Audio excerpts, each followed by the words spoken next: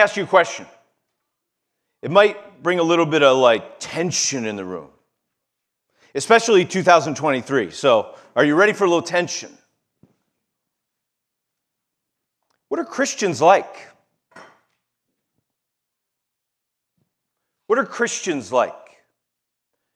Some of you may be thinking, what's so tenuous about that? Well, if you ask people today what Christians are like, you may get an answer like this Christians are judgmental, hypocritical, and oppressive. We must admit that many who have claimed to be Christians have acted in that way in history. Matter of fact, they've acted in that way in the name of Christ. But the kind of Christian that Paul's been presenting in Philippians is so very different. So very different. Paul has told the Philippians how Christians are to live, what Christians are like. He says they are to live in a manner worthy of the gospel. Do you remember that? Standing together, side by side, striving, of one mind, harmony with one another, at peace with one another. He said that Christians are those who uh, not who don't look only to their own interests, but also to the interests of others. You remember that? And all of those instructions are rooted in the ultimate example of what Christianity is all about Christ Himself, right? Who humbly considered the interests of others, our own interests, who came to this world and emptied Himself, who obeyed the Father unto death on behalf of sinners and who is now exalted at the right hand of God. That's the basis, the foundation of all true, genuine Christianity. That's what Paul had told the Philippians. Now, I couldn't help but read this passage we're looking at this morning and think about uh, something that Doreen, who's a professor, a teacher for, for quite some time 20 plus years always tells me. And I'm still trying to grow in these things. It doesn't come natural to me because I like to tell people things, right? You guys know that. I, I like talk for a living. Talk too long. I keep yapping. Even now, I'm going on and on and on. I like to tell people things. She'll say, You can't just tell them, you have to show them. You can't just tell them, you have to show them. And I think what we see happening here in the passage that we're in today Yes, we're reading it, it's words. I'm telling you. Paul's telling the Philippian Christians, but in some way he seems to intend to show them what true Christians are like. He intends to not just tell them, but to show them. Show them in the lives of two living models of what genuine Christianity is. These are Timothy and Epaphroditus. He's, you could say this, he's not only telling them what genuine Christians are, he's showing them how a genuine Christian lives. So I'll ask it again. What are Christians like? How do Christians live? Today, I'm going to invite Jeremy Call to come read the passage for us from Philippians chapter 1, verses uh, 2, I'm sorry, chapter 2, verses 19 through 30. And we're going to see four distinctives of genuine Christianity. Please come read.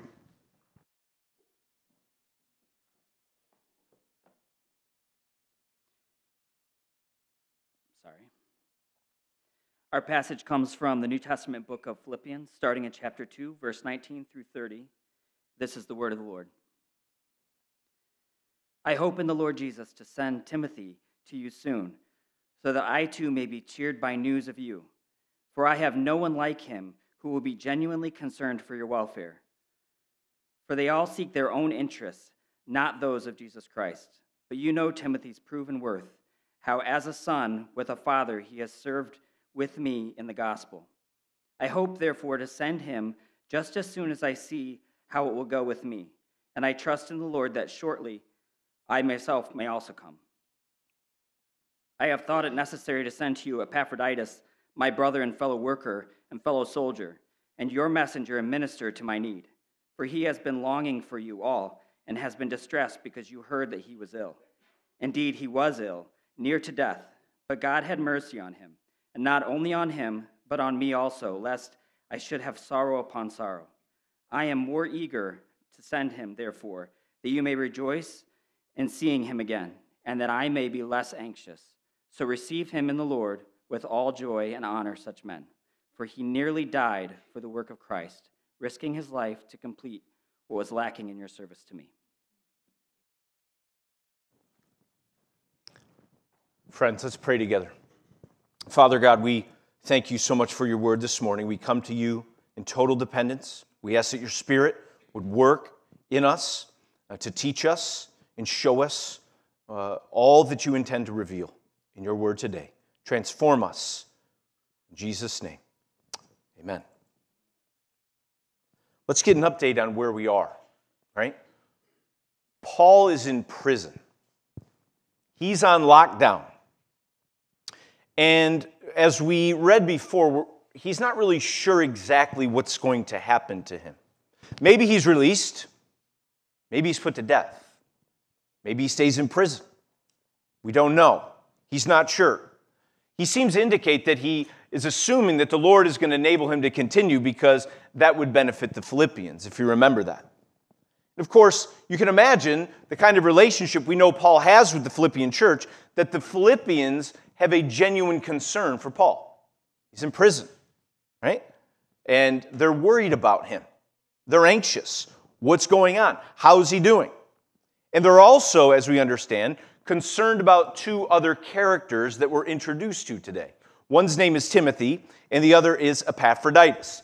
Timothy was a disciple of Paul. He came to faith through the influence of his grandmother and his mother. And I couldn't help for just a moment to just be reminded of the fact of the kind of influence that my mother, who led me to Jesus, the first person who pointed me to Christ, and my grandmother, who continued to point me to Christ with her life, how influential those two women were in my own walk. And I wonder if that's not the same for you. This is Timothy. He's a disciple of Paul, yes, but he's come to faith through the love and care and instruction of two godly women in his life. And so Timothy is presented to us. They're worried about him. They're also worried about our new friend Epaphroditus, right? He was a man sent by Philippi, uh, to the church at Philippi, to bring financial support and to kind of communicate and get uh, and attend to the to the needs of Paul, who was in Rome. So, what we see taking place here is Paul's continuing his missionary update. Remember, we talked about that a couple weeks ago? He's writing them a letter, he's giving them an update. He's saying, hey, this is what's going on, this is where I'm at. These are some concerns that, that you can be praying for. And he knew that they were concerned about Timothy and they were concerned about their friend Epaphroditus. Paul hopes to send Timothy, he says in verse 19. Right? They want him back. Send Timothy to us, please. And he hopes to do so. But at this point, he's saying, I can't do that. And so he's saying he finds it necessary, however, to send Epaphroditus back. So that's kind of the relational setting of what's going on as we read these words. So we see that in this situation that involved these people, we can't help but notice the transforming power of the gospel that takes place in these two lives. And that's a good thing to remember right now. That when Paul is talking about Timothy and talking about Epaphroditus, he is talking about two servants, two men who have been powerfully transformed by their trust and faith in the gospel of Jesus Christ.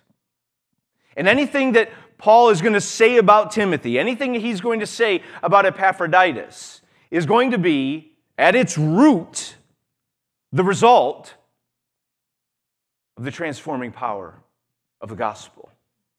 When the gospel takes root in our lives, the gospel bears fruit in our lives. I don't want you to be, to be misunderstood. Uh, I want, don't want you to, be, to misunderstand what the source of all that we're talking about.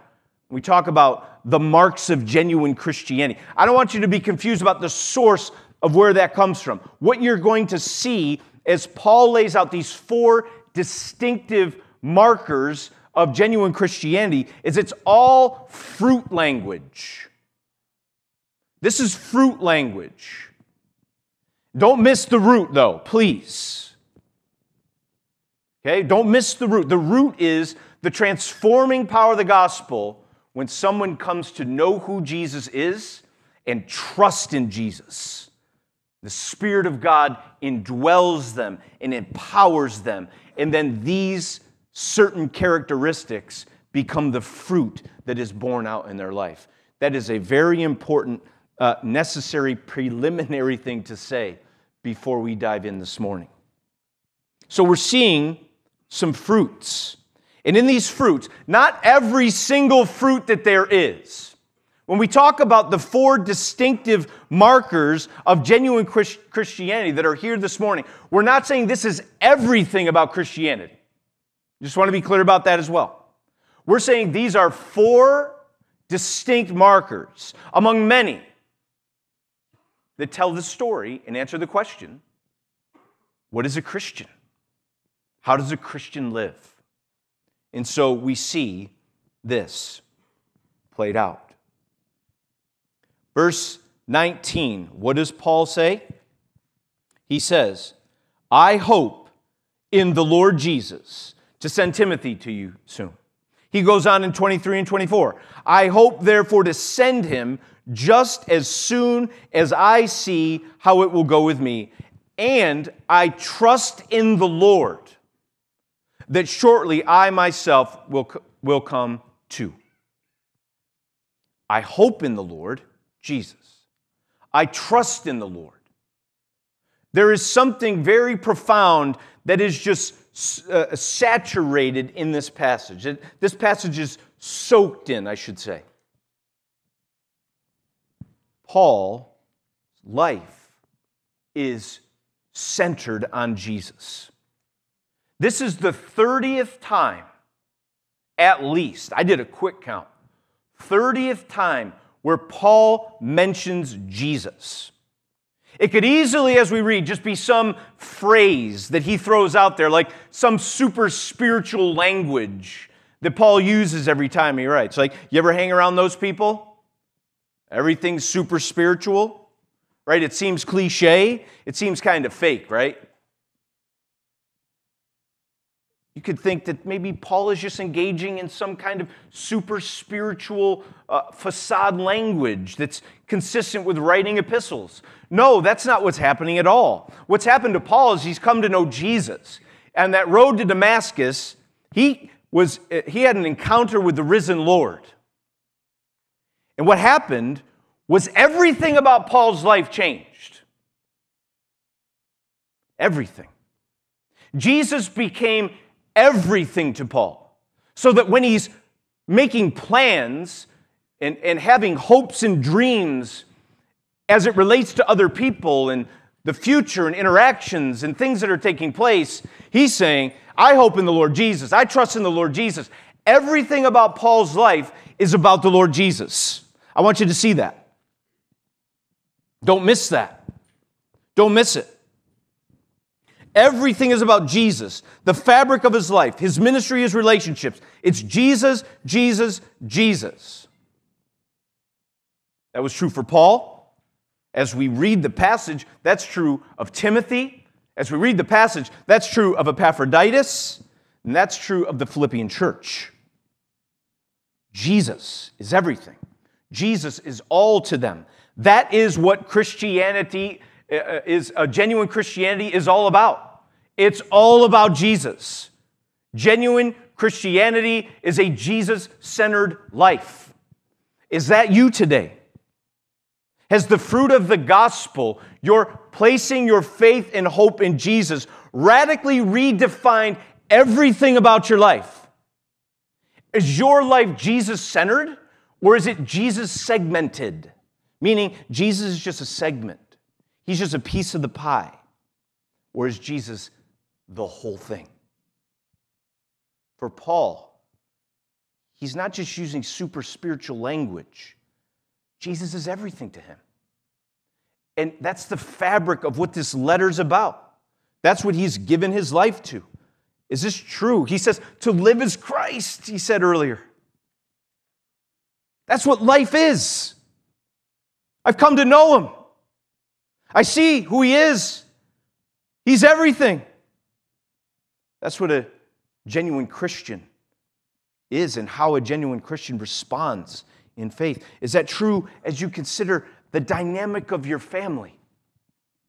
As you think about your job, as you think about your finances, your schedule, is it all in the Lord? Is it all in response to Jesus? For these men, in their lives, it was Jesus centered. It was Jesus centered. Genuine Christianity is a Jesus centered life. But not only that, you see, again, the tone of this letter continues to be deeply relational and personal. Deeply relational and personal. Look at the kind of language Paul uses when he describes Timothy and Epaphroditus, and also the Philippian church in many ways. He says of Timothy, For I have no one like him. He knows that they want Timothy to come to Philippi. Can't do that yet. He's too valuable to me right now. There's no one like him in my life. There's a, there's a connection that he has, there's, a, there's an affection and appreciation that he has for his brother in the Lord. He says in verse 22 But you know Timothy's proven worth, how as a son with a father he has served me. Timothy was not Paul's biological son. It was his son in the faith. And the way he describes Timothy is unique, it's special. It shows that connection, it shows love. He says, Timothy has been to me like a son with a father in his service. What powerful, intimate language. He talks of Epaphroditus, he calls him my brother. Because the Christi- Christianity he knows is, is that Christians are, they share a family, they have a father. Brothers and sisters in this family. He calls Epaphroditus his brother. My brother. He calls him his fellow worker in the labor, fellow soldier in the war, the spiritual war that's taking place in the world. He is my brother, fellow worker, fellow soldier. And oh, by the way, Philippians, don't forget who he is in relationship to you. He is your messenger that you sent and your minister to my need. You get the personal language mine, yours. You can't miss the overall sense that we've had in this letter of these people that have a deep love and affection for each other. Friends, that's Christianity. That's, that's what a genuine Christian is like. People loving. People loving. Genuine Christianity is Jesus centered, but it's also people loving. And before we think for one minute that love is just simply this emotion we have toward one another, because we get all confused about what love is, he goes on to show us how their love has been displayed, right? True love is not simply emotional, it is ultimately practical. True love has a genuine concern for someone else and then actually does something to, do, uh, to, to, to address a need. There's an action that's always associated with love, not just an emotion. Right? He says, For I have no one like him who will be genuinely concerned for your welfare. Genuine concern. For they all seek their own interests, not those of Jesus Christ. Right? And here I think who he's talking about are these people that are involved in the Philippian church that are causing division.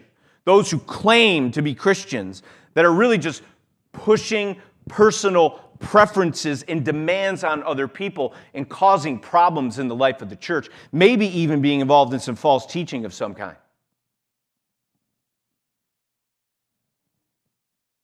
They seek their own interests. He's already told us that's not Christian. That's not Christ.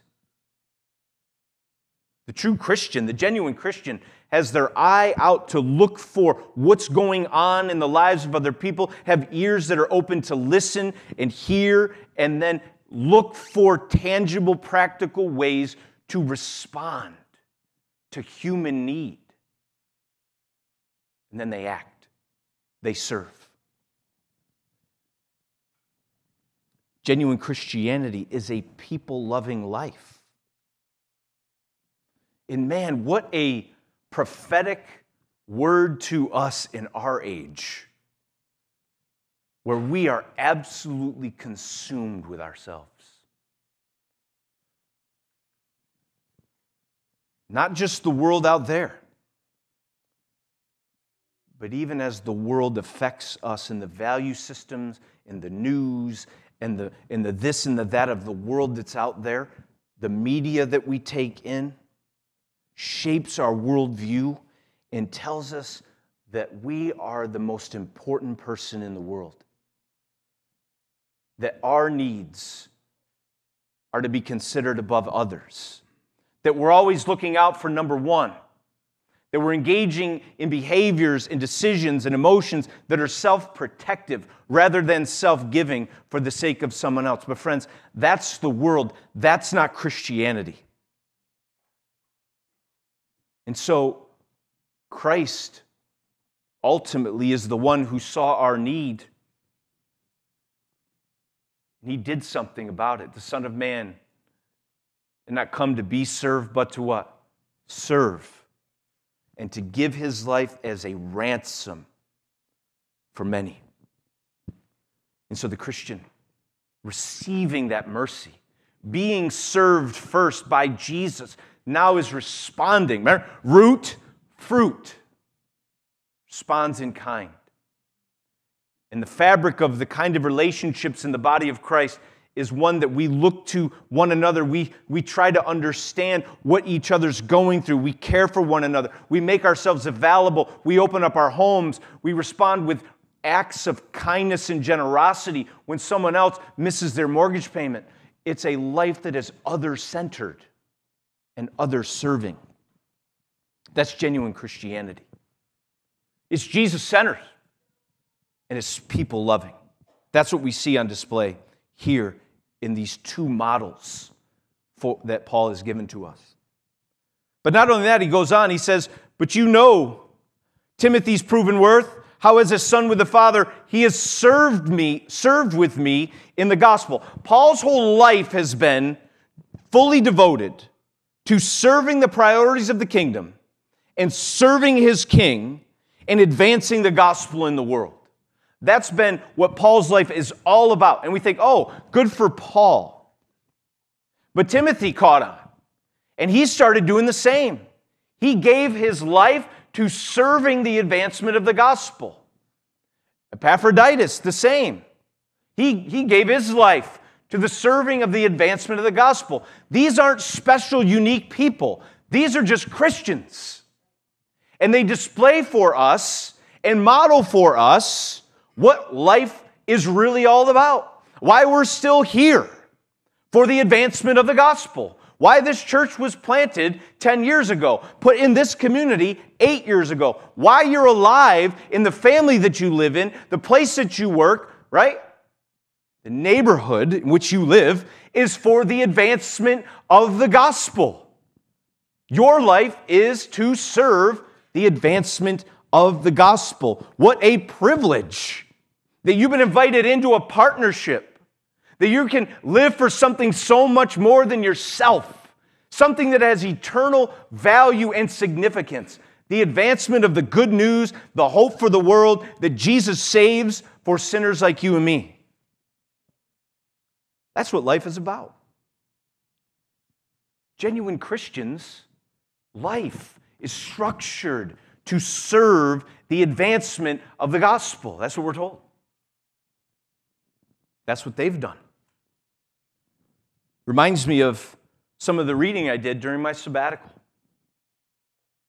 These men in England in the Northampton uh, Association, Baptist Association. Missions was basically dead in Baptist churches.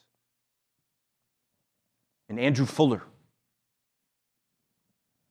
and John Ryland and John Sutcliff and Samuel Pearce came together. They understood why they were alive. They understood that while they were called by Jesus to Northampton, they were called to so much more for the advancement of the gospel around the world. And they gave their lives and they partnered side by side. And eventually they sent William Carey to India. Right? And yet it took seven years. But we see the gospel that came to India through the ministry of William Carey. There's a partnership in the advancement of the gospel. Look around this room. If you are a follower of Jesus, you belong to this church, you are a partner together in the service of the advancement of the gospel. You're not just individuals that come and partake of some religious good and service on Sunday in that happens to be in the same room. You are partners in the advancement of the gospel, just like those pastors in England 200 years ago. I think even closer to home, as Jack Stinziano, Jordan Stinziano's father, a lawyer, but a devout Christian. Alongside his close friend, many of you know Roger Burdick, who owns Drivers Village. For 40 years in this community, they have worked side by side. They've, they've been successful in many ways in their careers and in their businesses, but they understood why they were alive and what their relationships were all about an attorney and a car salesman.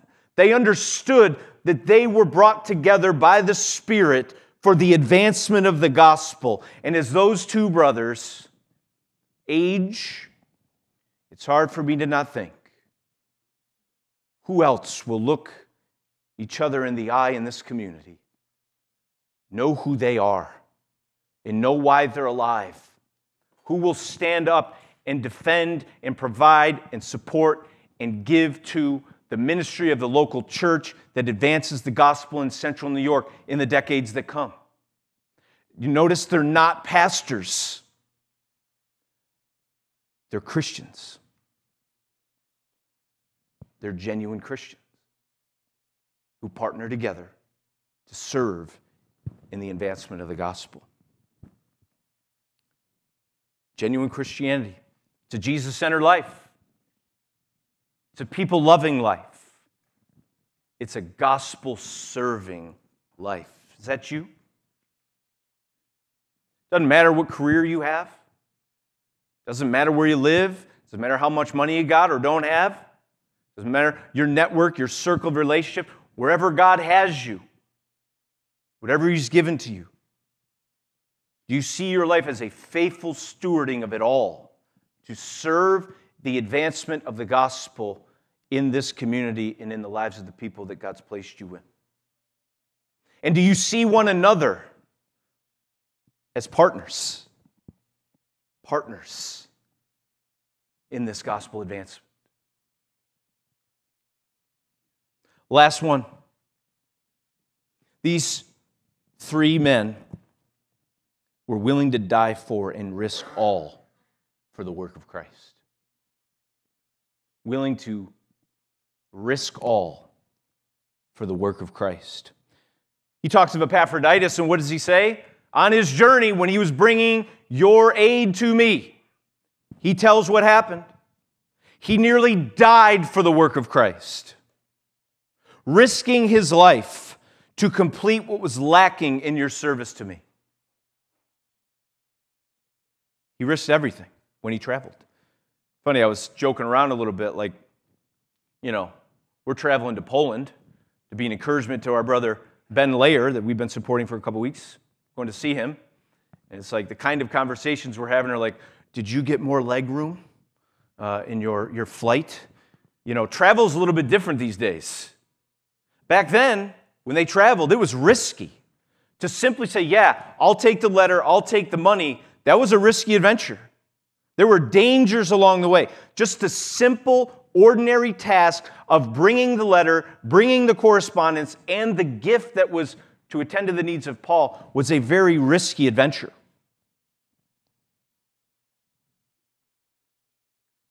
That's what Epaphroditus did. I'll do it. I know who I am. I know whose I am. I know why I'm alive. I understand the dangers. I understand all the risks. Sign me up for Jesus.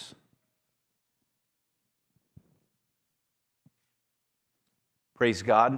He got sick, but God had mercy on him. Amen. God had mercy on him. We praise God for that. His health was restored. But we're praising God all the more for this example, this model. Man who knew Jesus, trusted Jesus, willing to risk everything for Jesus. This whole scenario is a model for us of just what ordinary Christianity is willing to risk everything for Jesus. I will never forget the Sudanese family that started attending Catalyst Church in 2008 ish. I'm getting old. 2008 ish. They were, they come from as refugees. I can't remember what nation they came from, uh, but I know where they were originally from. They came from, from, from Sudan. And one time we had them after church talking over a drink or over a meal or something. I can't remember some of those details. It was Jacques and Atong, right? I'm not, not so great with the African dialects, but thanks for your patience with me.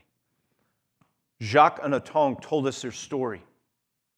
And I'll never forget her story as she went on to share that living in the Sudan, which has a lot of uh, Muslim, uh, is, is, Islamic, and uh, subscri- uh, subscribes to, to the Muslim religion.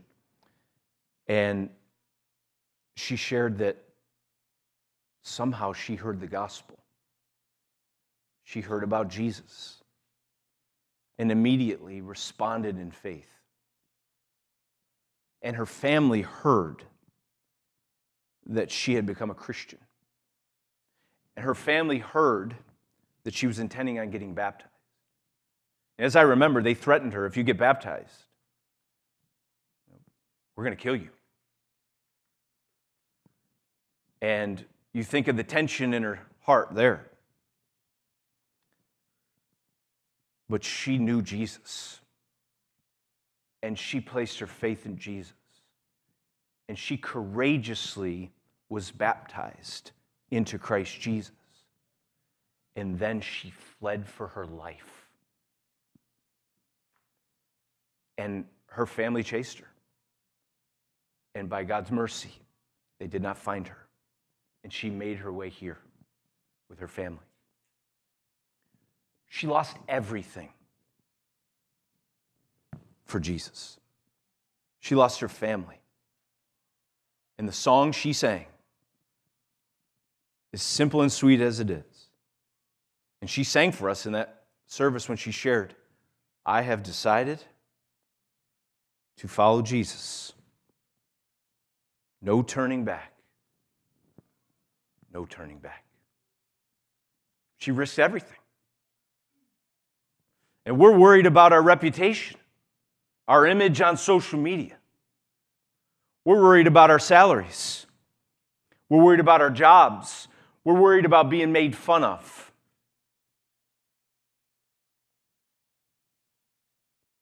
In these moments, I see my own weakness. I don't know about you. But genuine Christianity is risk taking, willing to lose everything for Jesus. And yet I ask, do you really lose anything at all in comparison to what you gain? Because didn't Jesus promise his disciples, Truly I say to you, there is no one who has left house or brothers or sisters or mother or father or children or lands for my sake and for the gospel who will not receive a hundredfold now in this time houses and brothers and sisters and mothers and children and lands with persecutions and in the age to come eternal life.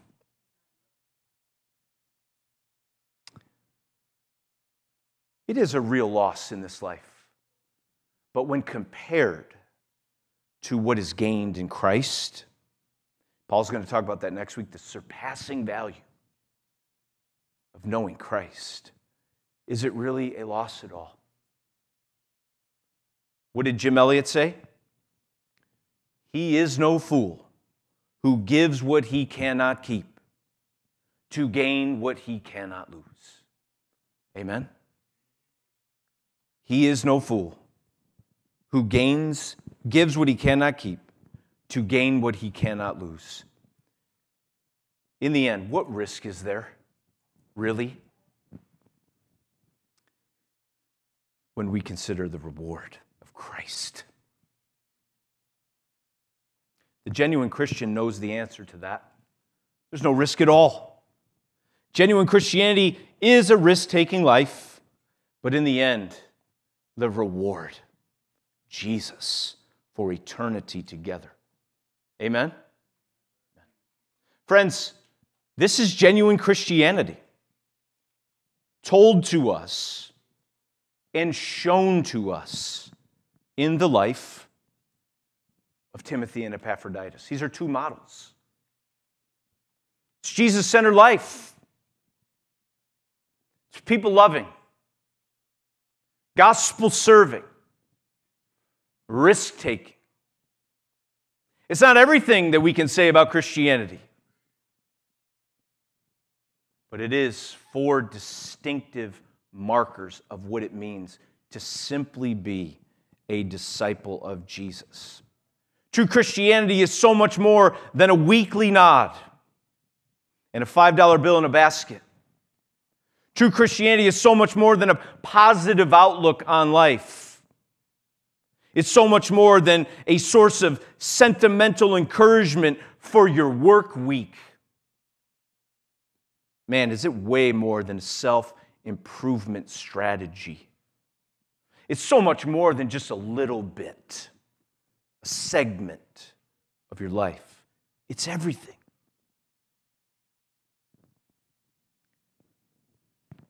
And the why? It's Because when the gospel takes root, the gospel bears fruit. And so I come back again. Do you know Jesus? Has he revealed himself to you on your Damascus road? Has he shown himself? His worth, his value, his love, his hope, his peace, his forgiveness? Has he revealed himself personally to you? Is the Spirit of God drawing you to him? to be reconciled. If that's true, these fruits will be borne out in your life.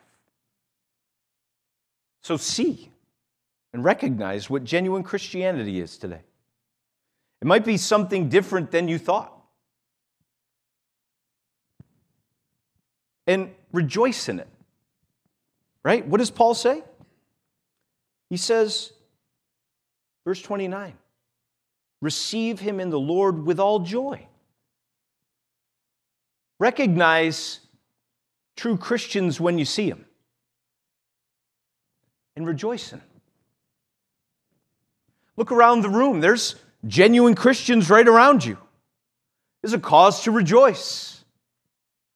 Rejoice in them. Receive one another. Rejoice in one another. And he says, honor those who exemplify it. This might be a simple call for each of us to be more encouraging to one another. Right? And think small. Right? We, we always look for something amazing, you know, like, like any kind of gospel progress, any kind of sign or evidence of grace or the Spirit in somebody else's life is an absolute supernatural work of Almighty God. And there, you think about mental health issues today, pervasive. I wonder if gospel encouragement, where do we see grace in each other's life? I wonder if God would just use encouragement in the church to simply help. I'm not saying, I'm just gonna be overly simple here. But man, is there anything more encouraging and wonderful and life giving than just someone giving you a word of encouragement? This is where I see God at work in your life. See it, recognize it, rejoice in it, honor it, and pursue it. You might be here today super weak.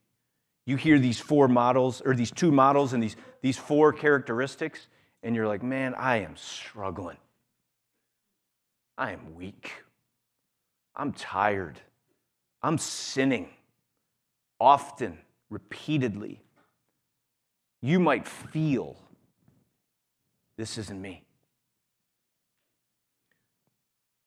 My encouragement to you this morning is First of all, don't believe the lies of the enemy that bases your identity on your performance today. Base your sense of identity on who Christ says you are and understand that He's filled you with the Holy Spirit. His very presence is in you, and it is sufficient to give you the grace, mercy, and strength that you need to be obedient to Him. So pray. Cry out. Ask God, your faithful Father, who, if their son or daughter asks for bread, he's not going to give them stone. Say, I need your strength. Fill me with the Spirit and enable these fruits to be born out in my life. There's so much hope for those who are weak today. I'm going to tell you, I feel weak today. Part of it is these, these Cedarville students have me working 47 hours since Thursday. Just kidding. We had a great time. If you need strength, God wants to give it to you. Amen? Genuine Christianity. It's a Jesus centered, people loving, gospel serving, risk taking life. Amen? Amen. Let's pray.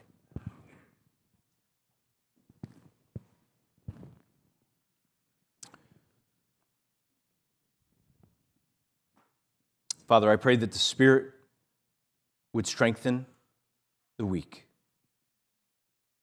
that would give, that He would give joy to the downtrodden. I pray that Spirit awaken in us these things. We thank you for Timothy and Epaphroditus, Lord. They're no heroes but they are examples. And their example is an encouragement to us that ordinary followers of Jesus can live a transformed life. And they show us what it means to be a Christian. Lord, help us to not be judgmental. Help us to not be hypocritical or oppressive. But do help us to be Jesus centered to love others, to serve the gospel, and to risk everything because of the hope we have in Christ. We ask this in Jesus' name. Amen. Amen.